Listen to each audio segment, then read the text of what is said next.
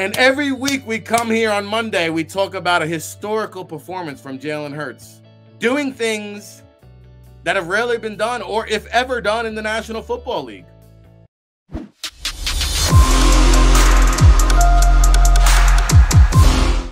Buckle up. It's the football playbook with your boy RIC and the place to be, Ric Serritella. Checking in from the Jersey Shore here on this uh, Monday, September 26, 2022. It's our 20th episode, oh, by the way. And uh, it is a championship football Monday. That's how the Philadelphia Eagles are playing, like a championship caliber football team. And you want to give me the criticism? Hey, they really haven't faced a contender. Hey, uh, you know, Jalen Hurts is beating up on makeshift defenses. Hey, you can only play who's in front of you. The Eagles are taking care of business and doing it in a big, big way. That's right. Paul Kane in the chat room. 3 and 0. We're flying high over here on the football playbook. Got a great show lined up for you today.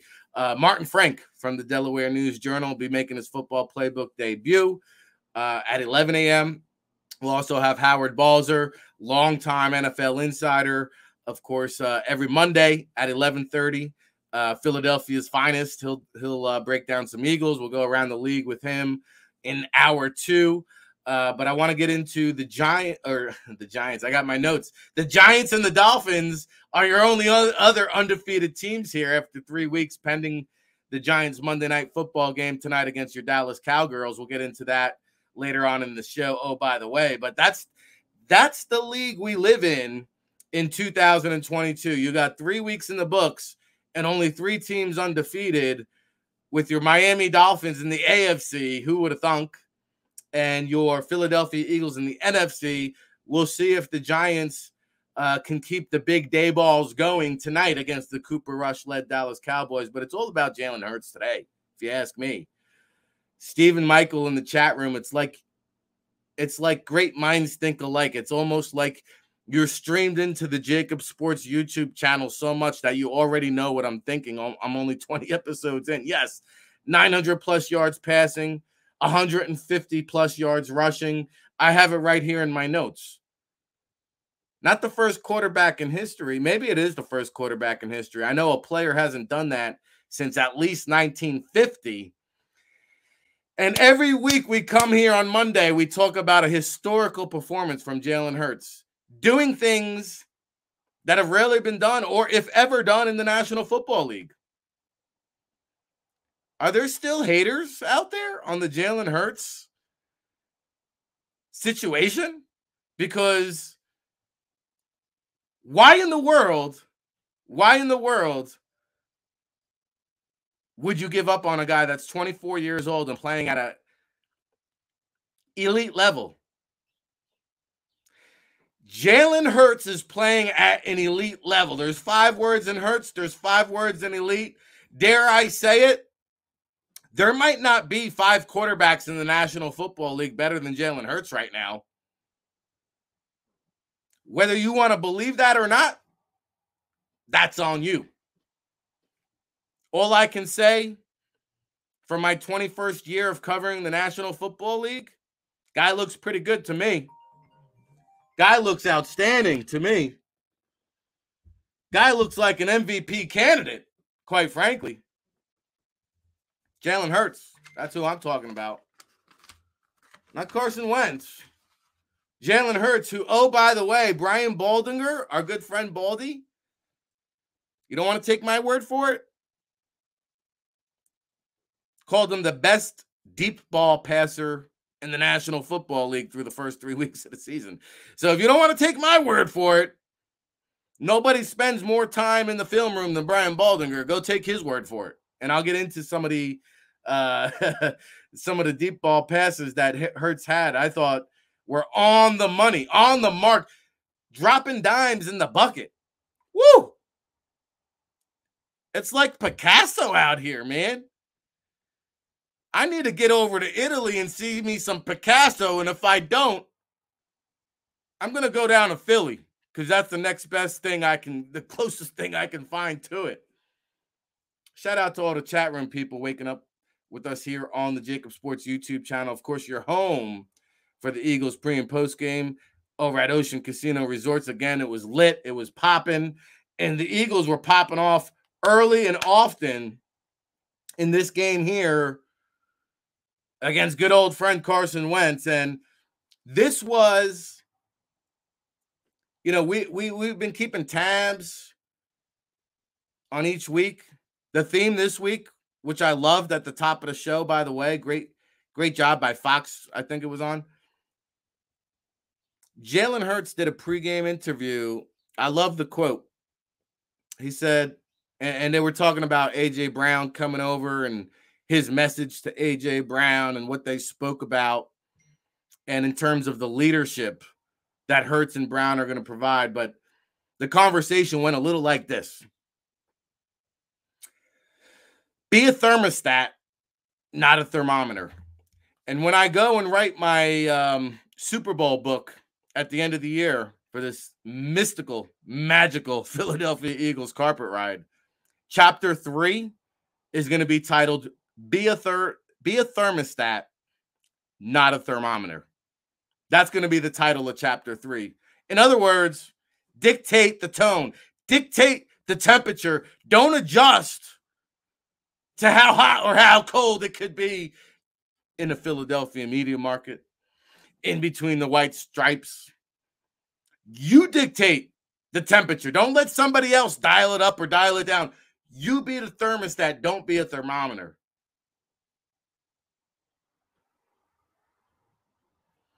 Paul Keen in the chat room says, What do you think is causing the second half performance by the offense?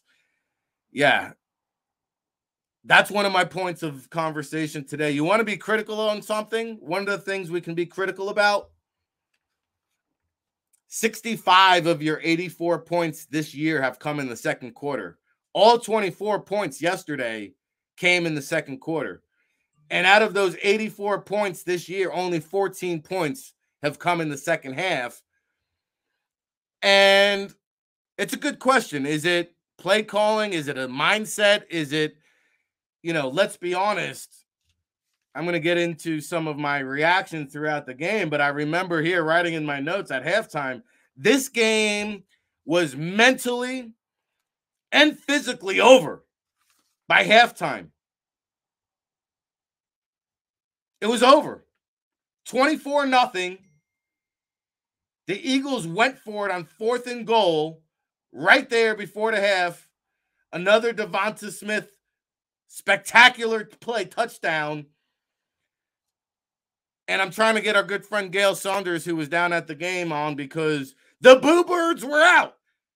The Boo Birds were out at 9:16 in the first quarter when Washington was punting on their own nine yard line. The Philly crowd was louder than any Washington Commanders crowd put together. That was in the first quarter. At halftime, the Commanders got booed off the field, booed off the field at their home stadium. And you saw Jalen Hurts post game press conference. He said it felt like a home game. It felt like a home game. Now, Live with Coos in the chat room says the conservative play calling in the second half. You know, it's a mentality that they need to get away from. I don't know if it's the play calling. I got to go back and look at it. It might be a coincidence. Hey, the points are coming in bunches. However, you get them, it's dominant football. And the second quarter is it seems to be where they turn it on yeah, they got to play four quarters of better football, but that's a well rounded game. Oh, by the way, nine sacks, nine sacks, really with a four man rush, four man rush. Uh, the blitz percentage or the pressure percentage was 36.5%. So they went from uh, 16% in week one. I think it was like 33% in week two, 36.5% this past week, seven players on the defensive line had three plus three or more pressures, a 17.3% sack rate.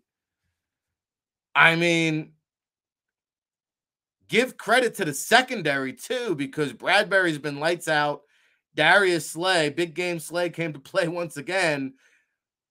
Epps played 100% of the snaps. I think Chauncey Gardner played 100% of the snaps. Because the coverage is so good in the secondary, it allows these guys to get to the quarterback really necessarily without blitzing, but they're getting pressure to the quarterback with this four man rush on a third of the plays, which is outstanding.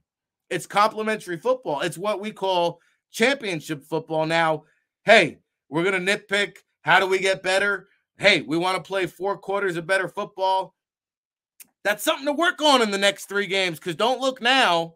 I don't like the early week bye, the week seven bye, but don't look now. The Philadelphia Eagles should be and are expected to be undefeated going into the bye week.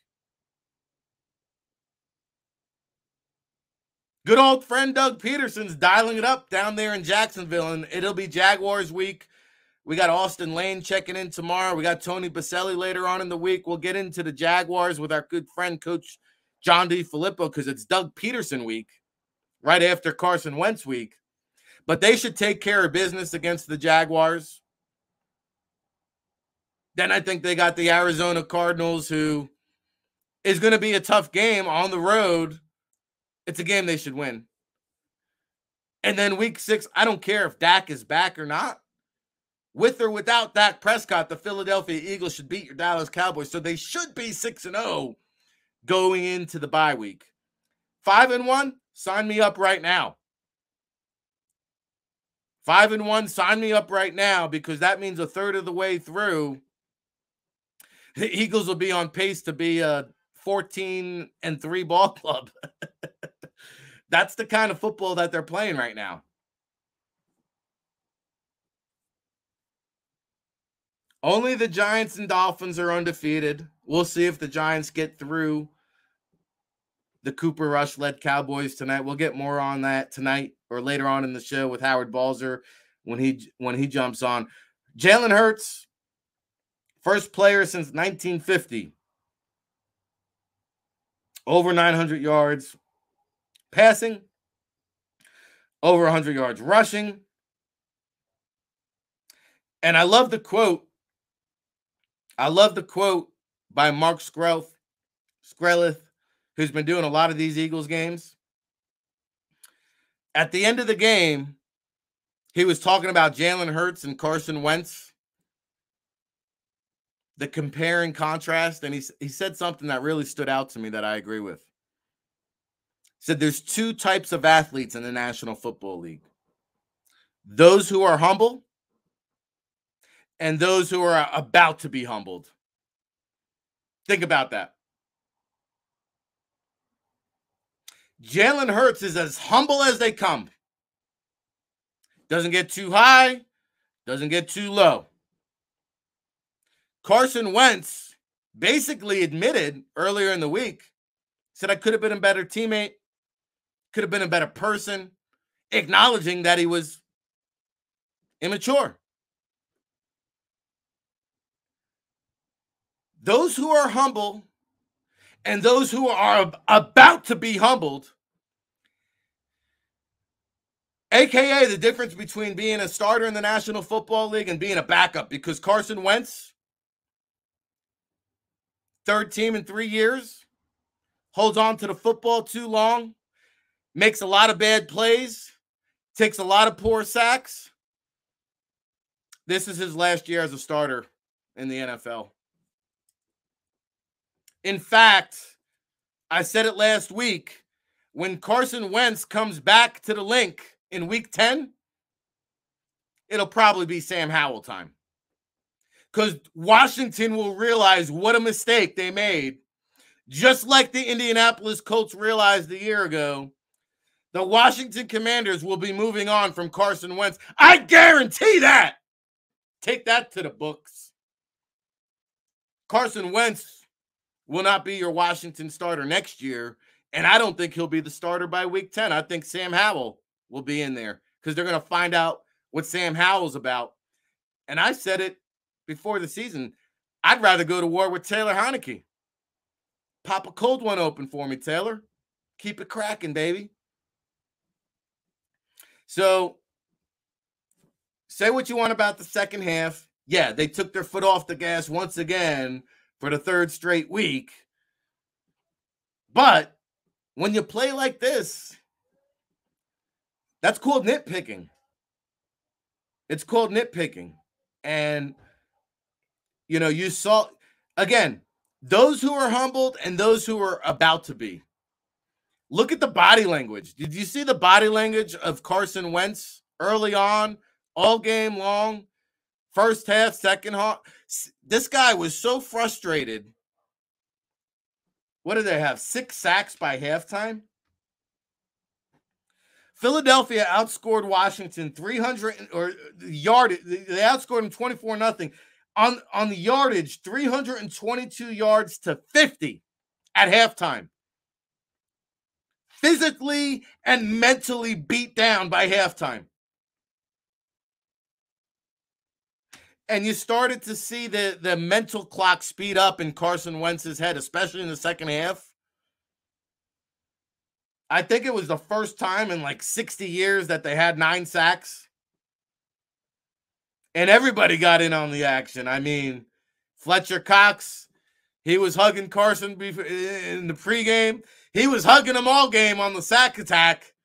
Javon Hargrave, he was in on the mix. Josh Sweat, big time week. Haason Reddick was in there too. Oh, by the way, Jordan Davis got in on the fun on the last sack. I mean, you could not expect or ask for a more impressive defensive performance than what your Philadelphia Eagles turned into uh, yesterday. Outstanding. Both sides of the ball. Outstanding. I'm going to get more into my uh, in game takeaways, but just a quick look at the uh, snap counts because we've been keeping tabs on that defensive line. I love what they're doing with the defensive line rotation. I think it's smart to have Fletcher Cox play 47% of the snaps yesterday. Almost a throwback to his rookie season when he was first coming into the league. Now, instead of bringing him up to speed, they're preserving that energy. And I like it. I like it a lot. In fact, the whole defensive line rotation, nobody played more than 60% of the snaps. Josh Sweat played 61%. Haason Reddick, 56%. Haason Reddick, what are they paying this guy? 14 million this year, 10 million, 11 million? This guy's making a lot of money. He's only playing 56% of the snaps. And that's okay. It's okay. Javon Hargrave, 53% of the snaps. And I like I like the interior, what they've done here. How many times, you know, this ain't Texas A&M, this ain't Alabama, this ain't Georgia, this is a National Football League. How many times can you have a seven or eight man rotation and feel good about it? Because you had Sweat at 61%, Reddick at 56%, Hargrave at 53%. On the interior, uh, Milton Williams, 49%. Cox, 47%. Marlon T, 44%.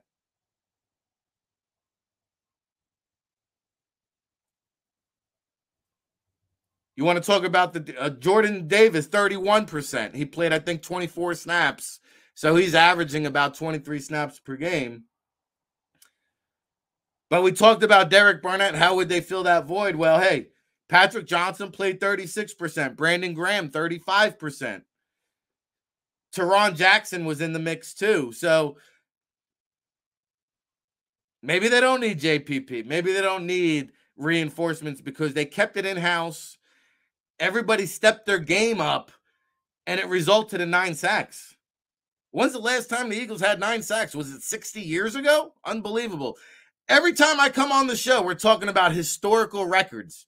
That's the level of play the Philadelphia Eagles are playing with. And outside of the Miami Dolphins, there's nobody in the NFL hotter. Go look at the Super Bowl odds. What are, what are they down to? 9 to 1, 12 to 1? I saw the Tampa Bay and Green Bay game yesterday. Did you did you look like those were the top NFC teams? I saw the 49ers last night. I'll get into that debacle.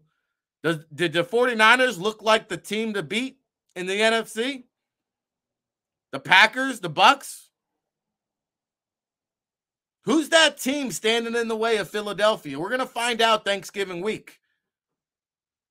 Because until we face Green Bay Thanksgiving week on November 27th, I'm going to have all the naysayers, the doubters, and the haters telling me that Philadelphia hasn't played anybody of relevance. Well, all you can do is beat the people they put in front of you.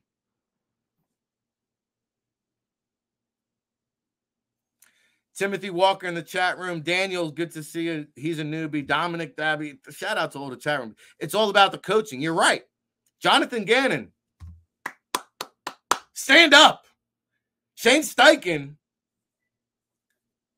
who I think Johnny Mack on the Birds 365 show said, Hey, enjoy him now while you can, because he might not be on the team next year. Shane Steichen is calling plays in a way where he's going to get head coaching consideration. That's what I think. Oh, Rick, it's only three weeks. I, I can't give Jalen Hurts $40 million now just on three games. Come see me week 17, week 18. Come see me January. Come see me February. The football playbook, we call it like we see it. Did you see the first three weeks? Because if you watched football for as long as I have and came away saying that Jalen Hurts isn't a franchise quarterback, then you just don't know football. You want to give up on this guy? You want to give up on Jalen Hurts? Three years into the system, 24 years old, and you want to go draft a new quarterback instead of paying this guy? Give me a break. That's bad business. My good friend Craig T. Smith, longtime scout who's been scouting football for even longer than I have, says Hurts is a fun watch. Holy cow, the Eagles are scary. Yeah, because they can beat you in the pass, they can beat you on the ground. Now, the ground game wasn't stellar yesterday. They only averaged 2.4 yards per carry on the ground. You know, 21 first downs. They won the first down game. 21 first downs, 16 came through passing. Another three came on the ground. I think two of them came through penalty. Oh, by the way, they lost the time of possession game. They only had the ball 27 minutes. But when you dominate 400 yards to 240 with most of that coming in the first half, you can get by the Washington Commanders. Devonta Smith, by the way, early and often, career high, 169 receiving yards. We'll get more into that. Uh, you know, Eagles social media. I love the social media team with the Eagles changing the W to the L at the midfield. But um a lot of game balls to give away here. A lot of game balls to give away. Um the defense, nine sacks, 17 hits on Carson Wentz. Again, 36.5% pressure seven players with more than three pressures and a 17.3% sack rate. Okay. Um, I'm going to get into more of my in game reactions. Before we do, I know we got a star studded show. Martin Frank from Delaware News Journal is going to join us at 11. We got Howard Balzer, longtime NFL insider, at 11:30. We'll talk more Eagles on the other side. Real quickly, I want to bring you up to speed around the league in, in terms of other things that I saw. How about those Dolphins taking care of business? 21 to 19 over the Bills. I think the Bills' defensive uh, secondary has been exposed, and they didn't even get Tyreek Hill involved in this game, quite frankly. They still win. Uh, the Tua concussion protocol, I think the NFLPA We'll be looking into that whole situation. But the Dolphins 3 and 0, they were they're the talk of the town in the AFC. The Colts, they get on the grid. Our good friend Frank Reich gets off the snide A lot of heat on his seat. They beat the Chiefs 20 to 17. Um, special teams, I think, cost Kansas City in this ball game. Interestingly enough, Patrick Mahomes was blitzed on 45% of his snaps during the first two games. Frank Reich and company only blitzed him twice that entire game. So maybe that's the recipe to beat Patrick Mahomes. Sit back, try to let these Chiefs receivers beat you, but the, the Colts take care of business 20 to 17. Another guy playing for a big money contract. We talk about Jalen Hurts being a $40 million quarterback. To me, there's no doubt in my mind Lamar Jackson's going to be a $50 million quarterback. Whether that's on Baltimore or somebody else, somebody's going to pay this man the money he deserves. 18 to 29, 218 yards, four touchdowns passing, another one rush, five touchdowns for Lamar Jackson. Oh, by the way, Mac Jones, high ankle sprain. New England Patriots, their season looks like doom and gloom. Staying in the AFC, Titans beat the Raiders 24 22. Josh McDaniels 0 3. Uh, if you want a side story in this one, our good old friend Mack Hollins has emerged as a somewhat playmaker. He had a big week. Um, Bengals come back, the bounce back week for Joe Burrow. Take care of business there, 27 to 12.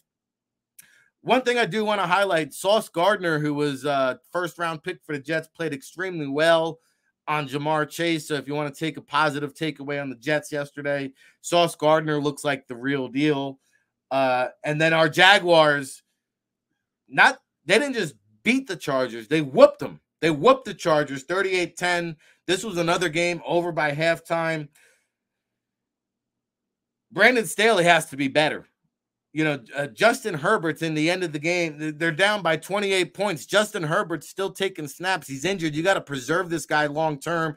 I thought that was a bad decision by Brandon Staley.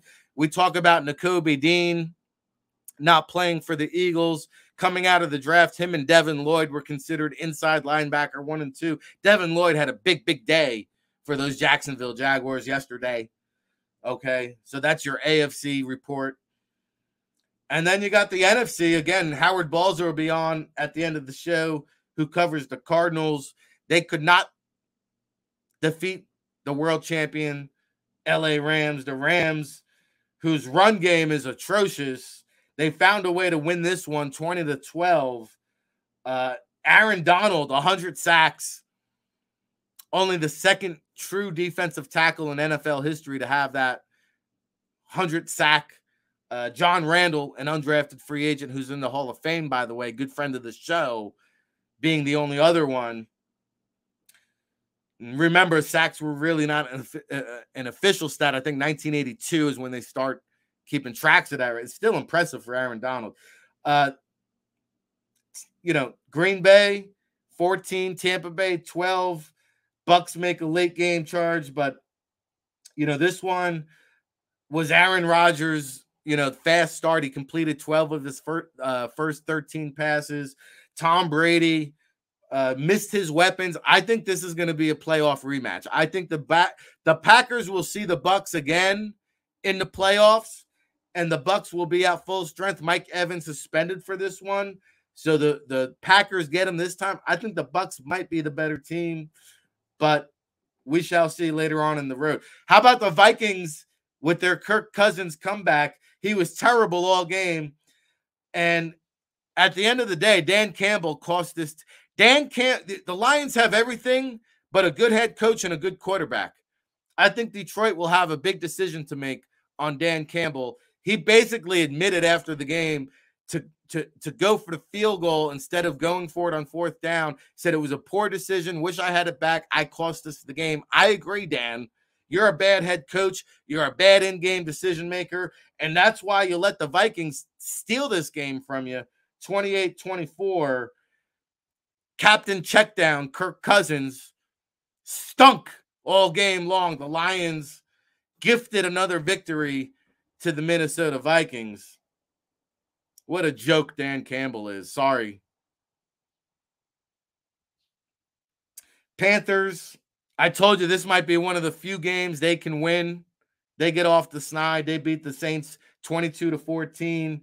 Uh, the big the big talk out of this game the Saints suddenly don't look now. By the way, the Eagles, if this if the season ended today, the Eagles would have the sixth pick in the draft. I know a lot of you in the chat room were clamoring for Will Anderson, who's probably the best player in the draft. But if the Eagles are at six, they got the draft equity. Maybe they can move up. They got the sixth overall pick because the Saints stink, quite frankly. Jameis Winston, they're talking about a quarterback change already. Dennis Allen saying we're going to stick with Winston, but Andy Dalton, warm up that arm. Andy Dalton could be coming out of the bullpen for your New Orleans Saints, which is great for the Philadelphia Eagles. Play Andy Dalton, please. Hey, that sixth pick might be a top three pick. Suddenly, you might get the best player in the draft next year. Oh, by the way, don't look now. I heard the Eagles are 35 million under the cap for next year. They should be able to get that Jalen Hurts deal done. Meanwhile, there's guys out here that don't want to pay Hurts the money. That's not me. I'm so tired, frankly, of being a broken record because I've been I've been talking about this since the preseason. Finally, the rest of the media is catching up to the football playbook. We've been teaching and preaching since August. Falcons beat the Seahawks 27 to 23 in the NFC. Who cares? Bears beat the Texans 23 to 20. Who cares? And then last night, the Broncos looked like a Yankees Red Sox game 11 to 10. Broncos beat the 49ers at the end, despite Nathaniel Hackett's another bad coach. Another bad coach, in my opinion. But they overcome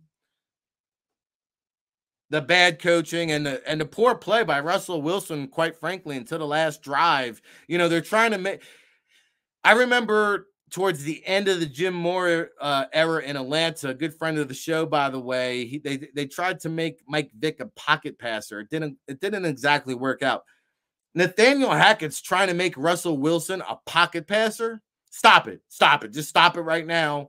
And you saw the last drive where Wilson was able to move around, pick up first downs with his feet, and then beat you with the pass.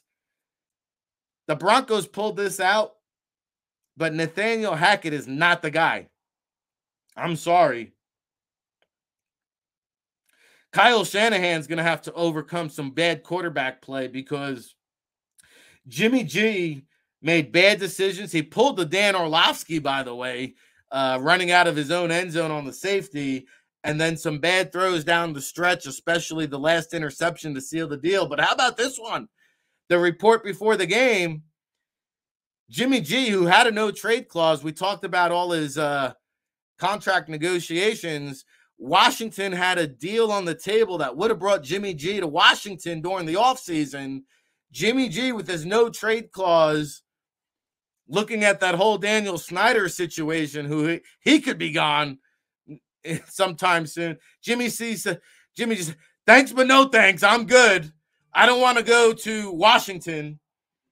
And so Jimmy G shot down the trade that would have sent him to Washington. Instead, they give up a king's ransom for Carson Wentz, who will be out of here after the year. Ron Rivera shot down that report after the game, by the way. But Jimmy G could have been a Washington commander instead of Carson Wentz.